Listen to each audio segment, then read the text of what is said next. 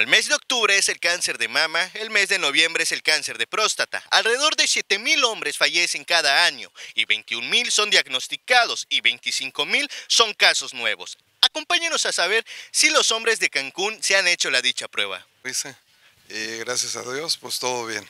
¿Y qué le recomienda Sí. a, los, a demás hombres? Porque Pues que, que tien- deben de asistir, deben de asistir porque pues una vez esa enfermedad que llegue a afectar a- a- al, al ser humano, pues ya no hay para atrás.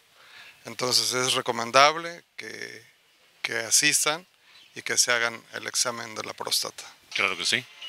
Dicen el que quiera seguir bien, pues tiene que hacer caso de lo que se recomienda, ¿no? De lo contrario, pues creo que estará en muy malas condiciones después. Sí, ya yo me la hice, cada año me la hago por ultrasonido.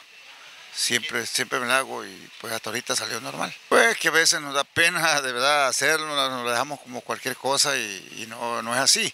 Debe ser como la mujer que se hace sus estudios, también el hombre después de los 40 años pienso yo que se debe hacer todos sus estudios de la próstata. Sí, ya, ya me hice la prueba de la próstata. Pues que se la hagan porque es muy doloroso. Yo lo padecí y es muy doloroso cuando te infectas de la próstata. Entonces es importante acudir al médico para, para que no pase eso, pues. Sí, el seguro social. Pues no, pues unos tratamientos nomás. Ya lo hice.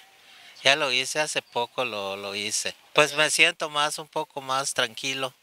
Sí. Pues lo que no ha hecho, pues que lo hagan porque es, un, es una vida más, da más vida Amigos de Cancún Channel y Contrapunto Noticias, como ustedes pudieron ver y escuchar, los ciudadanos sí se han hecho el examen del cáncer de próstata. Nosotros se lo recomendamos y seguimos con nuestra programación.